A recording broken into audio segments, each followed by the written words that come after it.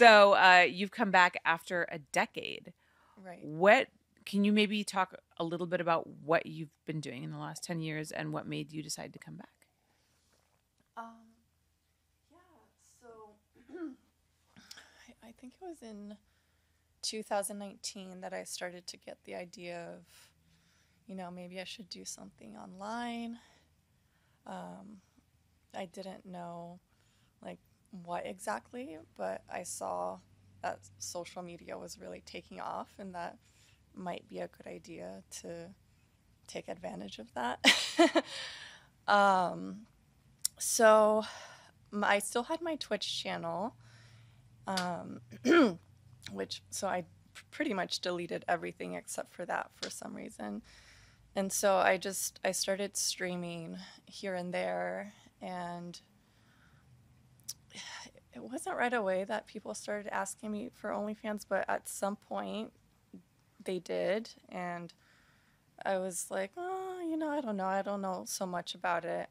Um, and then I started looking it up, and I also had a friend, uh, uh, Phoenix Askani. She was doing it at the time, and so I started asking her questions about it.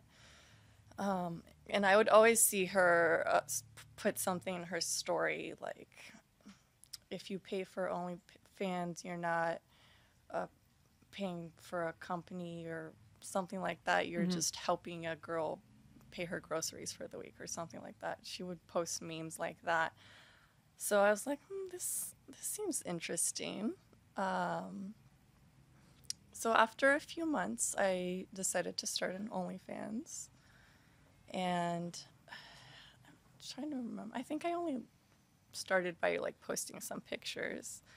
And then I started to play around with the different features like the live streaming and the messages, making videos and things like that. And yeah, I, I really liked it. I, I mean, I still like it. Yeah. yeah. Did you find, were you, supp- like, how quick was the onboarding of like old fans, like people who recognized you from before? Um, you mean like on on Twitch or No, no, on- no, on OnlyFans. on so when you came back OnlyFans? to OnlyFans, was Yeah. it kind of a little bit slow at first? Like you weren't really, you kind of dipping your toes in the water, or did you see like a lot of your old fans, people who knew you, jump in and be like, "Oh my god, like you're back." Yeah, it was, I, it was somewhere in the middle Okay. because I I had an old subreddit that I didn't use. Obviously, it's like the communities, but someone posted it on there, hmm and so I got the old fans from there as Mhm. well, and they were like, "Oh, all excited about it and Yeah. everything." Um, but yeah, I I did look kind of different because my I always had like straight uh, blonde hair when I was shooting in the past, and I I've been keeping my hair natural for for the most part. I mean, straight today, but I usually have it curly and it's a lot darker than it was before. So, Mhm. like sometimes when I was live streaming on Twitch, people didn't even recognize me. So, Really? yeah. I have to say, you literally look exactly Oh. the same. like you haven't aged at all. Thank you. Like, you really look the same. It's it's pretty remarkable. Thank you. I mean, obviously you've been like taking care of yourself since you've been you've been out. yeah. Were you nervous to come back at all? Were you nervous about getting backlash from people who were like, you went out there and you badmouthed the industry and now you're back? Like, what the fuck? Did you get any of that? Um, no, I I wasn't uh, because it's like uh, what we do, we get backlash anyways.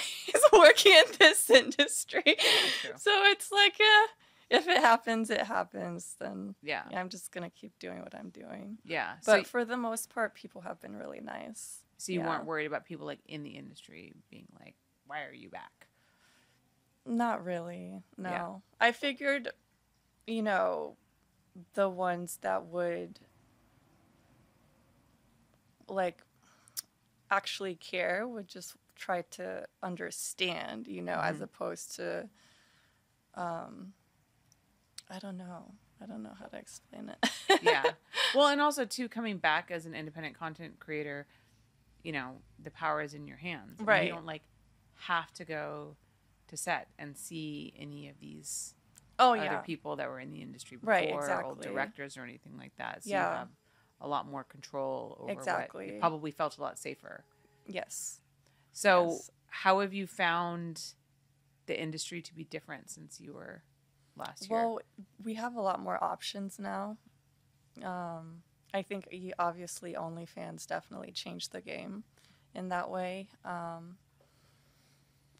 for me personally, I'm doing everything independent. No more having an agent.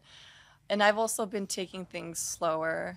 Um, and then as far as my OnlyFans go, I do that independently as well. Mhm. So, I mean, maybe I'll, I'll get to, to a point where I'll take on more help, but right now I'm the only person that I trust to do Right. all of that. Right. Yeah.